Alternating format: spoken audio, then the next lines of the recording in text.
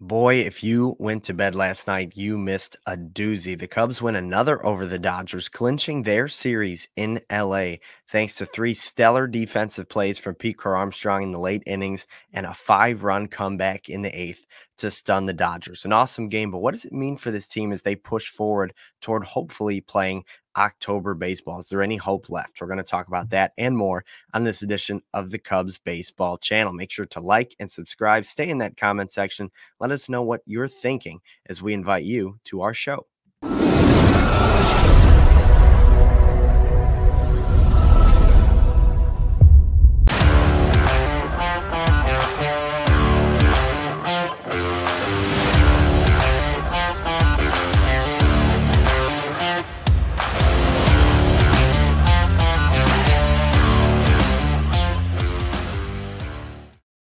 What's up, everybody? Hello and welcome to the Cubs Baseball Channel. My name's Anthony Pasquale, and you can find me on TikTok, um, excuse me, on Twitter at ant underscore Pasquale3. And you can also find, here we go, the Cubs Baseball Channel on TikTok, Twitter, and Instagram. So make sure to follow us along on there as we tweet and uh, repost a lot of Cubs content, ask some questions, polls, all those sorts of things. So make sure you're staying in touch with us, not only here on YouTube, but on those other platforms as well. But guys, the Cubs beat the Dodgers yesterday, six to three, and honestly, one of my favorite games of the year. I think it was uh, one of the Cubs' better wins of the season, and I know it's late, and I know that there's not a whole lot of hope in terms of the playoff odds, but it was a, a good win to prove to this team that they are capable of beating some of the best teams in baseball. Obviously, a two to one win over the Yankees to finish that series last week was fine, but you didn't really feel too confident that series when you only have eight hits. And even though your pitching staff only gave up six runs in three games, you lose the series. So you need to come out here and uh, out to LA and make a point, uh, make a difference, and really insert yourself as a team that can win these types of games against these types of teams. And they beat the Dodgers six to three. The Cubs scored first in the top of the second inning. Um, a kind of a crazy game. The Dodgers made three errors and had a bunch of walks. Um, and then the Dodgers kept on hitting the ball to the warning track and they couldn't quite get it over the fence. Um, except Shota Imanaga did allow three home runs in the ball game. Tommy Edman hit both his first and his second of the year off of Imanaga, and he also gave one up to Max Muncy. But um, Edman made a crucial error late in the game, and Muncy flew out to the warning track, and Pete Crow Armstrong robbed a home run to end the game. So the Cubs got the last laugh there. They won six to three, out hit the Dodgers eleven to three or 11 to 8, excuse me. And like I said, those Dodgers made three errors. The win, of course, Shota Imanaga. We'll get into him a little bit later. Porter Hodge gets the save. But the biggest storyline of the game, at least for me, Pete Crow Armstrong was excellent once again. You look at him offensively, two for four with two RBI, a really strong offensive game. But man, if you could see what this guy did in the field defensively, it was unbelievable. He made a sliding catch up against the fence in the seventh inning. Then in the eighth inning, one almost up against the wall in right center field. Him and Bellinger looked like they were miscommunicating, and Pete just kind of flipped his glove over and caught it on the backhand. It was a crazy catch. And then to end the game, battling some fans. Um, he tried to rob a home run from Max Muncy earlier in the ball game, and instead a fan hit it, and it ended up being a home run. PCA got the last laugh with a extremely high leap over the fence to catch the ball and win the game for the Chicago Cubs. He was fired up. This guy just continues to build his stock toward a star player. He very easily could win the gold glove this year and could win for the next 10 to 15 years. He's that gifted defensively. We know the speed is top tier. You're not going to find a faster guy. But th- as the bat continues to develop, you're looking at a guy who has all the makings of a five tool star here in MLB. And it's it's been exciting to watch, and I'm excited to see the future steps that he takes um, in his big league career. Cubs use a five run comeback in the eighth to beat the Dodgers. It was a crazy eighth inning um, for the Cubs as they used a couple of walks, a couple of hits, and a couple of errors to turn it into a five run inning. But let's talk about it. Here's the eighth batter by batter for the Cubs. Ian Happ led off with a walk, and Dansby Swanson reached on an infield hit fielding error, depending on how they ended up uh, reviewing it. Just a little dribbler in front of home plate. He busted it down the first baseline. And uh, with that error, made it first and second. Then Seiya Suzuki singled right up the middle and uh, Tommy Edman booted the ball um, and then threw it away on the way to third base. So from second, Ian Happ scored.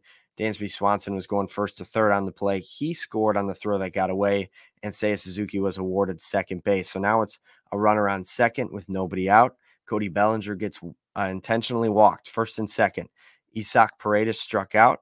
Michael Busch reached on a fielder's choice that also got away, another error. So now it's first and second, and the run scores still just one out. Then a Nico Hoerner double drove in Cody Bellinger, and uh, Pete Armstrong grounded out a batter later to drive in Michael Busch. And then those were the five runs that the Cubs scored in the eighth inning. Then in the bottom of the eighth, Nate Pearson was throwing 101 on the radar gun. I didn't know he had that type of stuff in him, uh, but he ended up getting out of the inning cleanly, thanks in part to a really nice sliding catch from Ian Happ, then another sliding catch from Pete Armstrong. Then in the ninth, Porter Hodge comes in to buckle down the save. He ends up having a little bit of trouble breathing. It was kind of an unorthodox moment. Um, he ended up staying in the game and securing the save, his fifth of the season. But anytime there's a breathing issue and you have a guy pointing to his chest, that can, of course, get a little bit scary. But Hodge gets the job done for his fifth save of the season. Now, I want to talk about the Japanese players for a second. Seiya Suzuki led the way offensively for the Cubs with three hits, including an RBI and a run scored. And then on the mound, Shota Imanaga against Yoshinobu Yamamoto absolutely did not disappoint.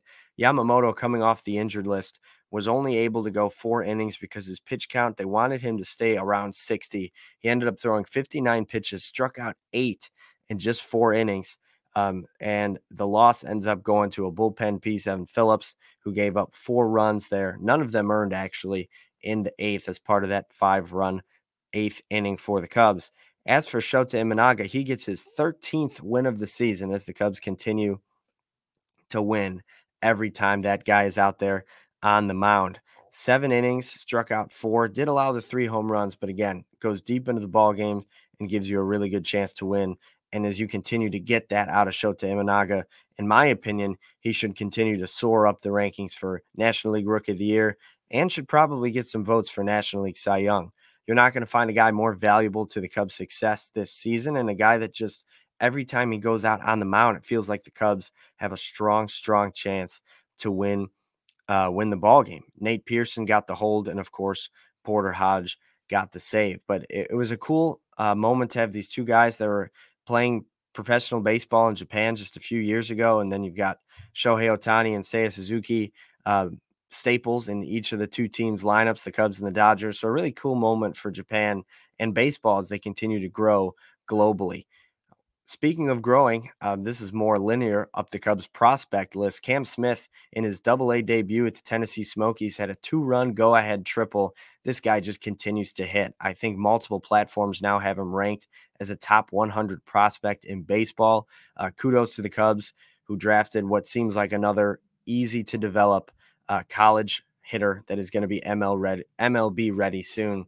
This guy tears the cover off the ball. He did it in college. He did it in A. He did it in high A, low A, and now he's doing it in double A. So hopefully we see him in the big leagues relatively soon as he continues to rake in the minor leagues. Now the Cubs are still in second place in the NL Central, but just four games back now of the National League wild card with 17 games to go. The Mets lost yesterday and the Braves won. So they go back into a tie for that third spot. The Cubs four games behind the both of them. Now, the important thing to remember is as the Cubs try to gain some ground back, they have one more game against the Dodgers and then three against the Rockies this weekend.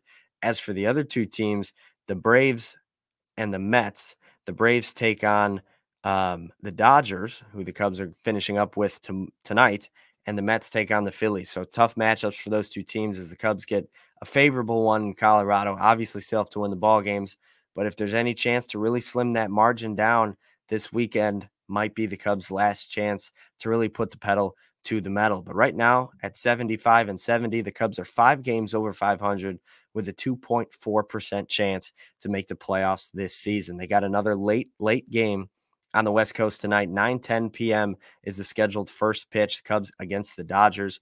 Jordan Wicks back on the mound for Chicago, 2 and 3 on the year with a 4.03 ERA.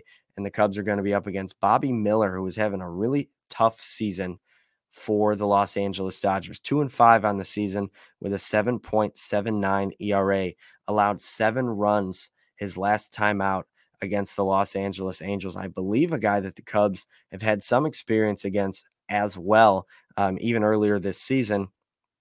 Um, Nico Hoerner, Dansby Swanson, and Seiya Suzuki have had some success against him, so keep your eyes on them as well. Um, as for Wicks, the Dodgers haven't faced him too too much. Ohtani's two for three against him. Uh, Miguel Rojas, Max Muncy, and Kike Hernandez also have a knock against the Cubs southpaw who gets the start today. We'll see if the Cubs can sweep the Dodgers. You'd have to think they'd be riding with some high momentum heading into Colorado for the weekend series. And hopefully, we are coming back here tomorrow to talk to you about that sweep with the Cubs over the Dodgers. But guys, thanks so much for joining us and listening to us and chatting with us, liking, subscribing, commenting, and following us on Twitter, TikTok, and Instagram. Thank you guys for all of it. We appreciate it. Let's see if the Cubs can make one final push and sweep the Dodgers. Go Cubbies.